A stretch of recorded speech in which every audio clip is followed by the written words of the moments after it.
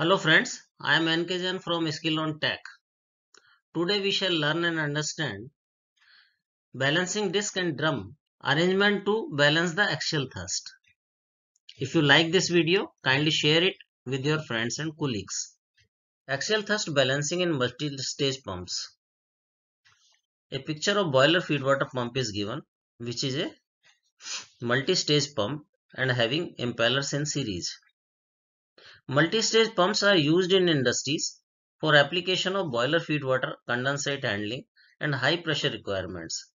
Various industries such as KSB, Kirloskar, Wilo pumps earlier known as Mather and Platt, Worthington, Sulzer are popular manufacturer of these pumps. These pumps are having number of impellers in series to develop high pressure resulting high axial thrust. Thrust bearings alone are not enough to take load of these heavy axial thrust. Hence additional devices are used to manage these axial thrust by providing balancing disc or balancing disc and drum arrangement. Let us understand what are these devices and how they function and what are the maintenance aspects. Balancing disc arrangement. A picture of a balancing disc arrangement of a multi-stage pump is shown in the presentation. Here you can see this is impeller, last stage impeller. This is a balancing disc which is fixed on the shaft and this is a balancing head or counterbalance balancing device which is fixed in the casing which is a stationary part. This is a return pipe which is going to suction through a restricting orifice or cooler is also provided in the this return pipe. This is a balance chamber which maintain the pressure in the balance chamber to exert axial thrust through back pressure on the balancing disc. How this balancing disc arrangement work or function in a multi-stage pump will know in the next slide. Working of balancing disc. Here you can see a picture of a balancing disc arrangement. The discharge pressure act in clearance of disc and counterbalance disc area and exert pressure on front face of balance disc as shown here. The discharge pressure will go through this and will act in this direction. The increase in clearance is this clearance between balancing disc and disc head increases the flow into the balance chamber here in this balance chamber and increase the pressure in the balance chamber. This in turn increases the axial force on the back of the balancing disc here and oppose the original increased impeller axial thrust. So we can see the discharge, the discharge pressure of impeller will act on the this shroud of the impellers. So we'll create axial thrust in this direction. When balancing disc arrangement is provided, this discharge pressure will also act in this area of a balancing disc and that will create a axial thrust in this direction. But to balance this axial thrust and a thrust exerted on a balancing disc is balanced by this balance force which is exerted on the back of the balancing disc through a back pressure.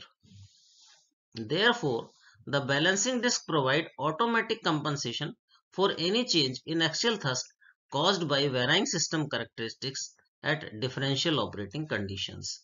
So when we operate the pump, the pressure is varying in this balance chamber and this manage the balancing of the axial thrust of the shaft.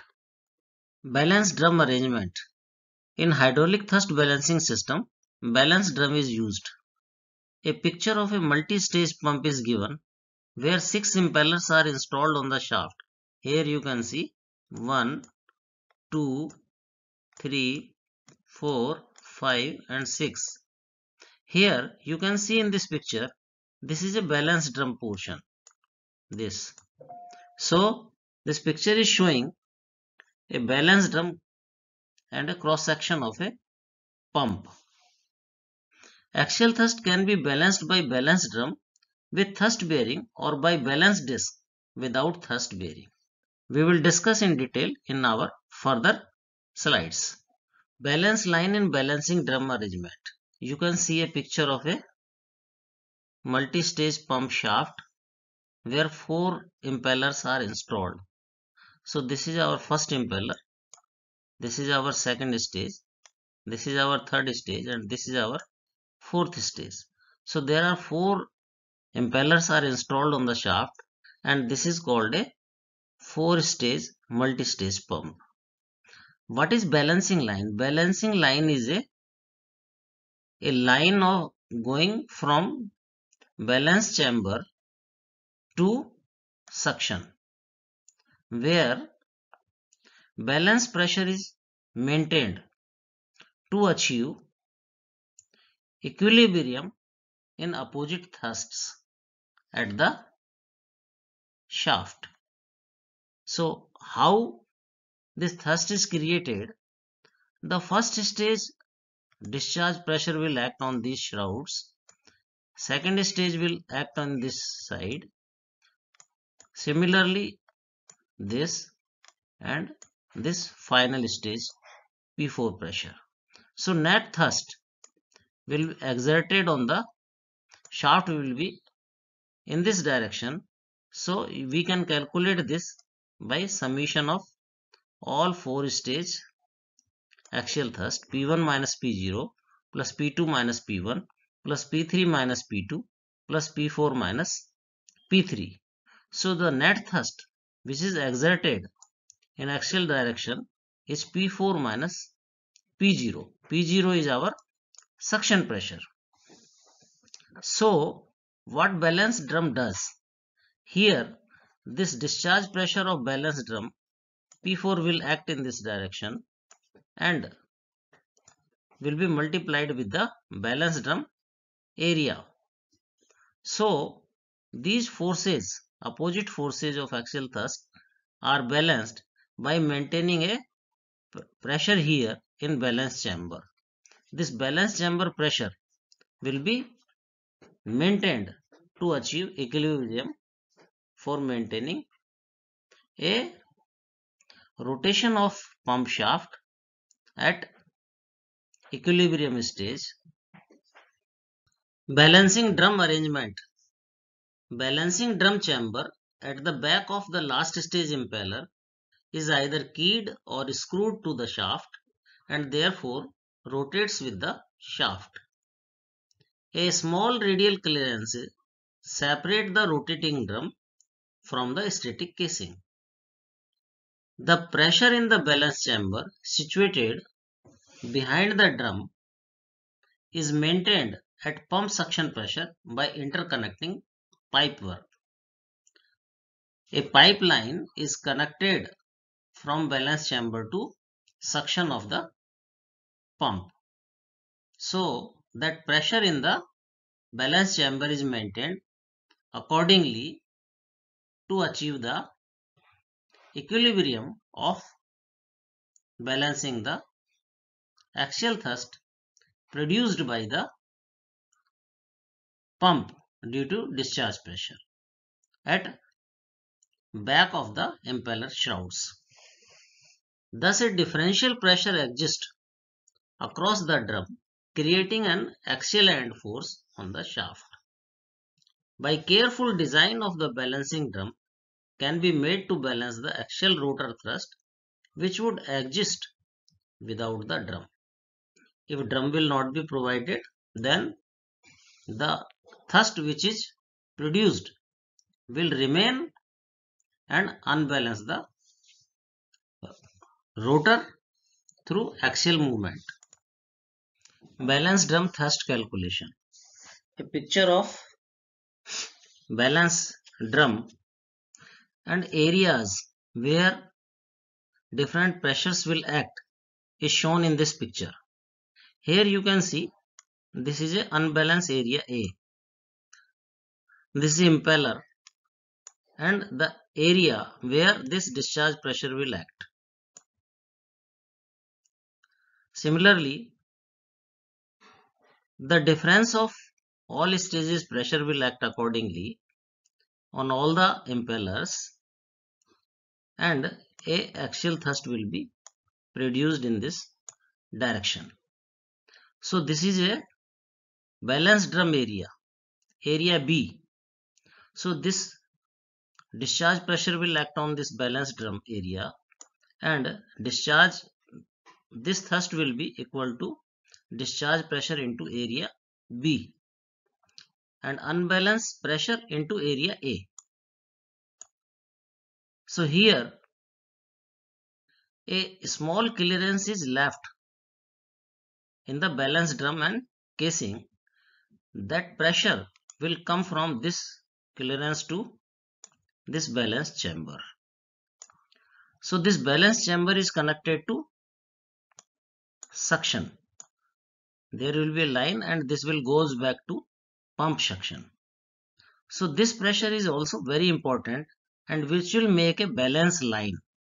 These clearances are so maintained that they will make a maintained a pressure in the balance chamber here P.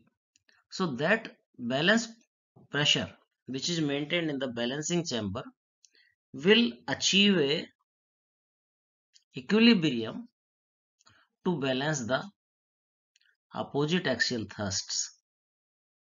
Balance disc with balance drum. A picture of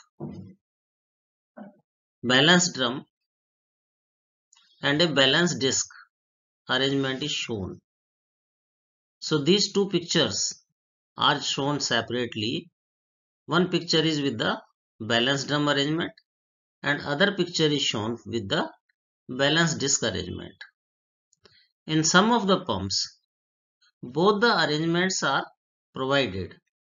So these arrangements are called balance disc with balance drum arrangement. If only balance drum is used, then we have to use a axial thrust bearing in the pump. But when balance disc is used with balance drum, thrust bearing may not be required to manage axial thrust. Why balancing disc wear? So when we use balancing disc in multi-stage pumps, wear and tear occur with due course of time and with the running of pump. So what are the important reasons and how to install a balance disc we'll see in this slide. The blockage of balancing water pipe returning to suction means the balancing disc fail to generate balancing force. It will cause severe abrasion by axial force. So therefore, pipe returning to suction from balancing chamber shall be always clear. A clearance of 0.2 mm shall be maintained between balancing disc and balance wall while assembly of the pump. The axial float of rotor shall be fixed, keeping one third of total axial float after maintenance the axial float fixed shall be marked on shaft to access wear of balance disc. The balancing head is connected by bolt with discharge casing. If the screws are not fastening, will cause the releasing pressure which lead less balancing force and the balancing disc have been worn out. The clearance between balancing disc shall be maintained otherwise water losses will be more and efficiency of pump will reduce. So therefore maintaining a clearance is very important to maintain efficiency of the pump. A picture of balancing disc is shown. So you can see this is a contacting surface and this surface generally got wear and tear. So in during maintenance when we check this balancing disc we will found abrasion wear and tear here. So we can what we can do we can machine this surface. This surface can be machined and the thickness which is machined shall also may we can make a cut here. So the step will be maintained. And accordingly Installation Precautions shall be taken to maintain the clearances of the disk and axial float shall be measured properly. Thanks for watching the video. If you like this video, hit like button below and share it with your friends and colleagues. Subscribe our channel for getting updates on upcoming videos. Please leave any comments, feedback to improve the videos. Thank you.